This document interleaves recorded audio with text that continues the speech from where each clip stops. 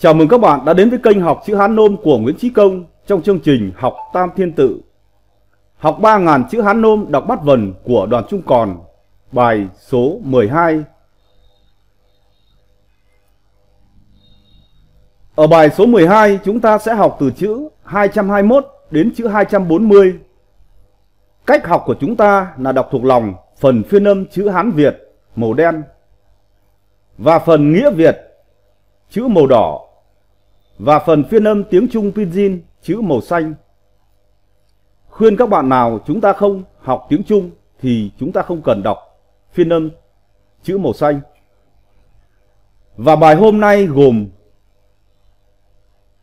trưng lấu chân duệ gấu gì khâm vạt áo, chin phùng may phấn chức dệt chư hài dép chía lý dày lũy sư thầy sư hữu bạn dẻo hạc cạn hứa giật đầy gì? Mi mày, mấy? Mục mắt mủ diện mặt, miền. Đầu đầu, thấu. Tu râu, su. Phát tóc, pha. Thiềm cóc, chán. Thiện nươn sản oán hờn doản các bạn hãy dừng lại video. Các bạn tua lại. Các bạn đọc từ 5 tới 10 lần. Đọc đi đọc lại. Đọc đến khi các bạn cảm thấy tương đối thuộc lòng, thì chúng ta vào tập viết sẽ thuận hơn rất nhiều. Sẽ nhanh thuộc bài hơn và sẽ nhớ, lâu hơn, sâu hơn các bạn nhé.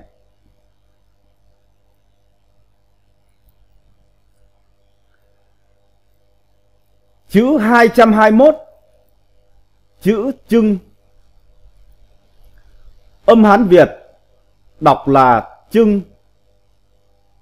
Còn có âm đọc là trứng Nghĩa Việt là nấu hơi, Nấu lấy chất hơi. Chữ trưng tổng có 10 nét. Về phần lục thư chữ trưng thuộc chữ hội ý. Phiên âm tiếng Trung đọc là chân, âm lôm đọc là trưng.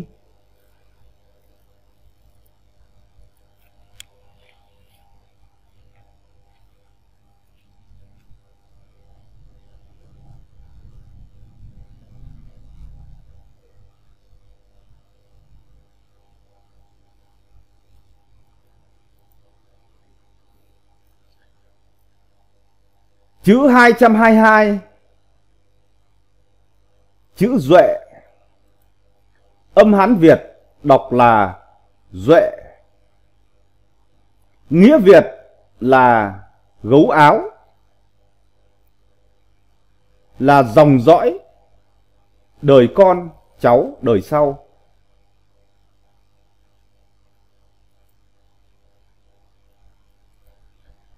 Chữ Duệ tổng có 13 nét.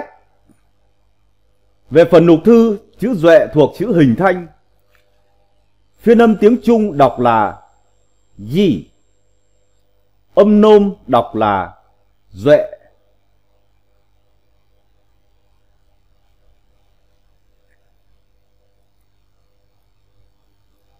Chữ 223, chữ khâm Âm Hán Việt đọc là khâm, còn có âm đọc là câm. Nghĩa Việt là cái vạt áo, cái giải áo. Chữ khâm tổng có 9 nét. Về phần nục thư chữ khâm thuộc chữ hình thanh. Phiên âm tiếng Trung đọc là chin,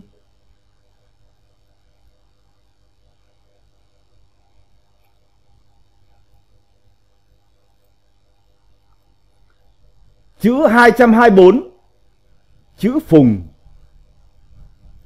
Âm Hán Việt đọc là Phùng, còn có âm đọc khác là Phúng. Nghĩa Việt là may, là khâu, là đơm. Chữ Phùng tổng có 13 nét. Về phần nục thư, chữ Phùng thuộc chữ hình thanh. Phiên âm tiếng Trung đọc là phấn. Âm lôm đọc là phùng.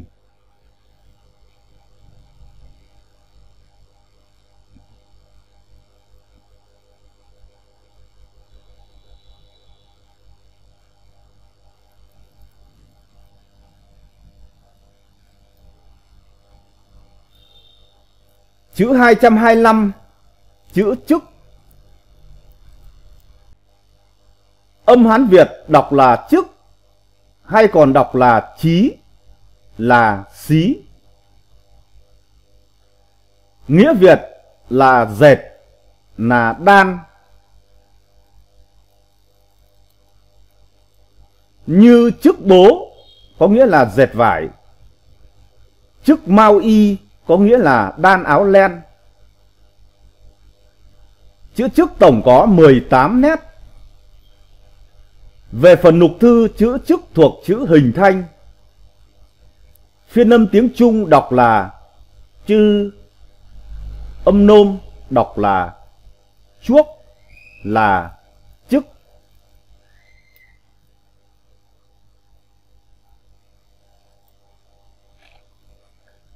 Chữ 226, chữ hài. Âm Hán Việt đọc là hài. Nghĩa Việt là dép để đi. Mang ở chân, cũng chỉ giày guốc. Chẳng hạn mộc hài là đôi guốc. Cách hài là giày da. Chữ hài tổng có 15 nét. Về phần nục thư chữ hài thuộc chữ hình thanh. Phiên âm tiếng Trung đọc là xía. Âm nôm đọc là dày, là hài.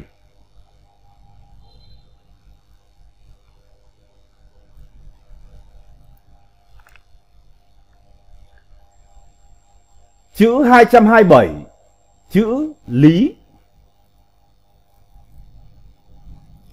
Âm Hán Việt đọc là ní. Nghĩa Việt là giày da, giày đi đóng bằng da gọi là ní. Chữ lý tổng có 15 nét. Về phần nục thư chữ ní thuộc chữ hội ý. Phiên âm tiếng Trung đọc là lỷ. Âm nôm đọc là dày, là dày, là lý.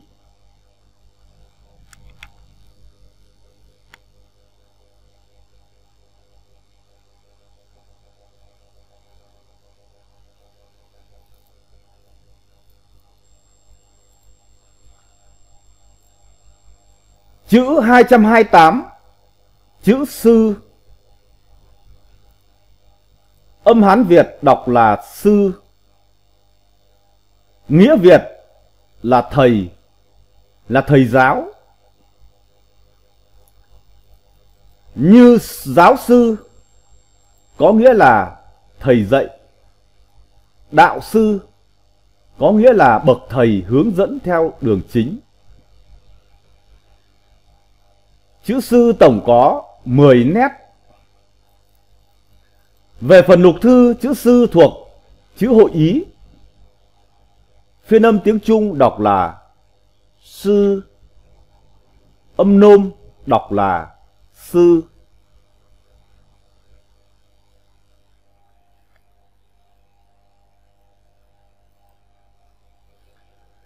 Chữ 229, chữ hữu Âm Hán Việt đọc là hữu. Nghĩa Việt là bạn cùng lòng, cùng chí hướng với nhau. Như bằng hữu, có nghĩa là bạn bè. Chí hữu, có nghĩa là bạn thân. Chữ hữu tổng có bốn nét. Về phần nục thư, chữ hữu thuộc chữ hình thanh, kiêm hội ý phiên âm tiếng trung đọc là dậu, âm nôm đọc là hữu.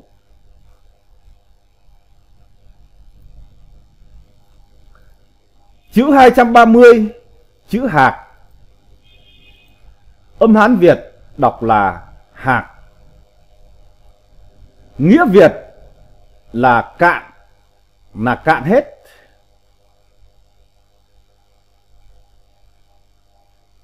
Chữ hạt tổng có 14 nét. Về phần nục thư chữ hạt thuộc chữ hội ý, phiên âm tiếng Trung đọc là hứa, âm nôm đọc là hạt, là hạo, là hạt.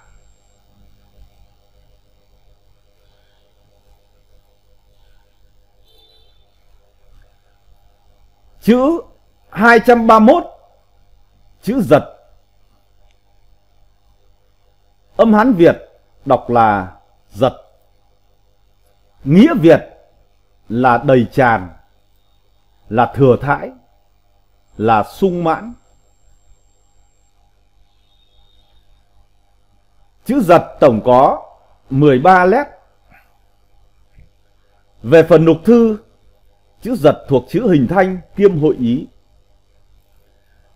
Phiên âm tiếng Trung đọc là gì Âm nôm đọc là ải, là giật.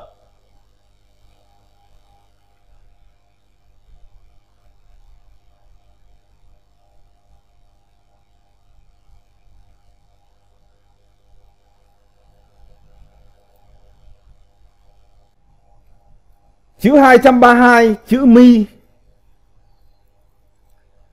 Âm Hán Việt đọc là mi Nghĩa Việt là mày, là lông mày. Như chiếu mi có nghĩa là cau mày.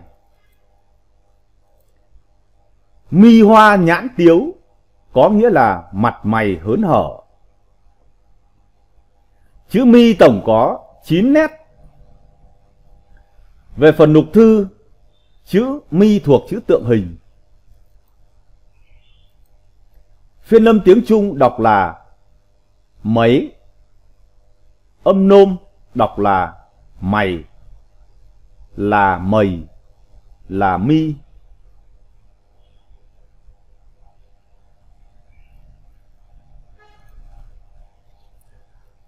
Chữ 233 chữ mục Âm Hán Việt đọc là mục. Nghĩa Việt là con mắt. Như nhĩ thông mục minh, có nghĩa là tai thính mắt sáng. Chữ mi, chữ mục tổng có 5 nét. Về phần lục thư Chữ mục thuộc chữ tượng hình. Phiên âm tiếng Trung đọc là mủ. Âm nôm đọc là mục, là mụt.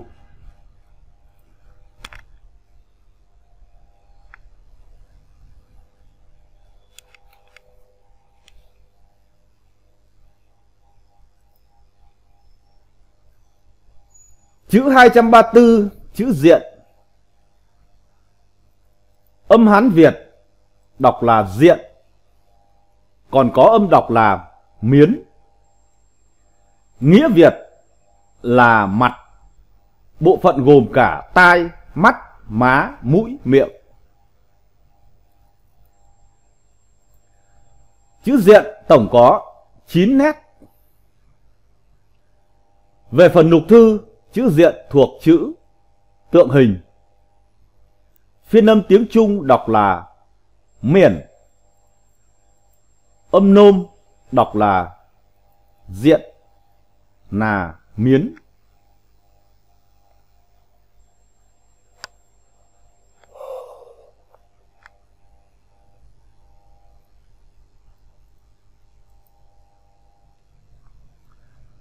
Chữ 235, chữ đầu. Âm Hán Việt đọc là đầu. Nghĩa Việt là đầu, bộ phận từ cổ trở lên. Như nhân đầu có nghĩa là đầu người. Ngưu đầu có nghĩa là đầu bò.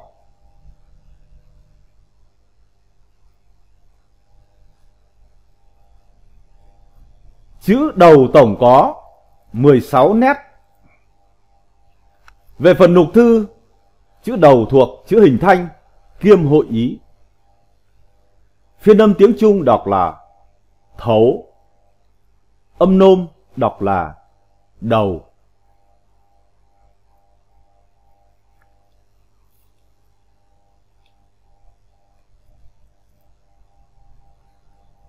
Chữ 236 chữ tu âm hán việt đọc là tu. Nghĩa việt là dâu của đàn ông, nói chung về dâu. Chữ tu tổng có 22 nét. Về phần nục thư, chữ tu thuộc chữ hình thanh. Phiên âm tiếng trung đọc là su. Âm nôm đọc là tu, là tua.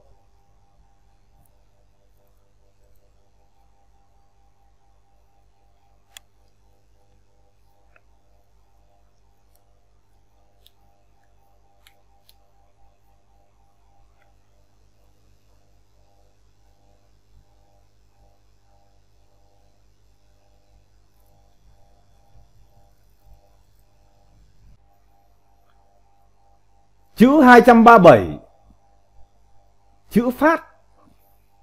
Âm Hán Việt đọc là phát.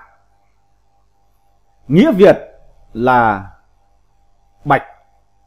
Là phát, là tóc. Là tóc trắng. Là tóc bạc. Chỉ tuổi già. Chữ phát còn có âm đọc là bị. Chữ Pháp tổng có 15 nét.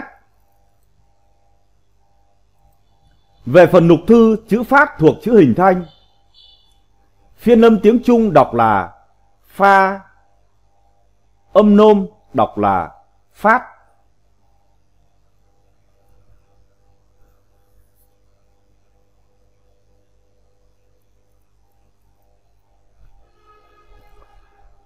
Chữ 238, chữ thiềm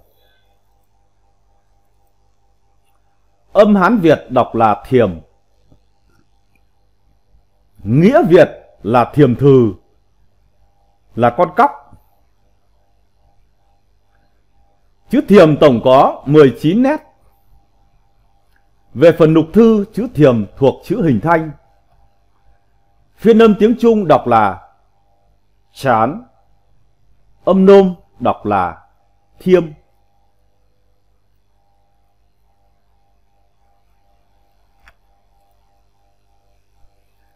Chữ 239, chữ thiện. Âm Hán Việt đọc là thiện. Nghĩa Việt là con nươn. Chữ thiện tổng có 23 nét. Về phần nục thư, chữ thiện thuộc chữ hình thanh. Phiên âm tiếng Trung đọc là sảng. Âm nôm đọc là lươn là thiện.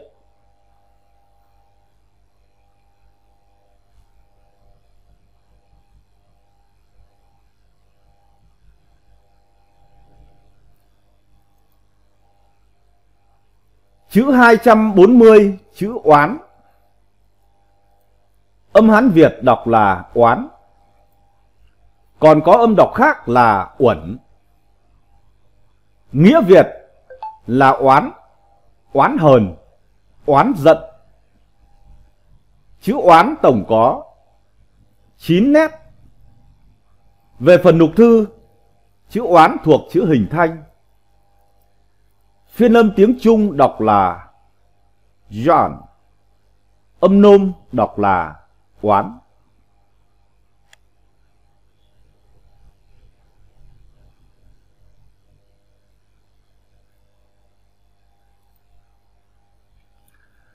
Đến đây chúng ta đã tập viết hết 20 chữ của bài. Và bây giờ, mời các bạn chúng ta đọc lại cả bài cho thuộc và các bạn chịu khó viết lại cả bài cho thạo. Trưng lấu chân duệ gấu gì khâm vạt áo, chin, phùng may, phấn dệt chư hài dép xía lý dày lũy sư thầy sư hữu bạn dẻo hạt cạn hứa giật đầy gì mi mày mấy mục mắt mũ diện mặt, miền, đầu đầu, thấu, tu dâu, su, phát tóc, pha, thiềm cóc, chán, thiện lươn, sản, oán hờn doảng mong các bạn chúng ta hãy cố gắng đọc cho thông và các bạn chịu khó luyện tập viết cho thạo để qua mỗi bài qua mỗi ngày luyện tập gian nan vất vả chúng ta lại gần tới thành công hơn bài hôm nay tôi xin dừng ở đây Cảm ơn các bạn đã đồng hành cùng kênh học chữ Hán Nôm của Nguyễn Trí Công trong chương trình Học Tam Thiên Tự. Nếu các bạn thấy bổ ích, các bạn hãy đăng ký kênh. Các bạn hãy nhấn like và hãy chia sẻ bài để ủng hộ kênh. Các bạn nhé. Hẹn gặp lại các bạn ở bài kế tiếp.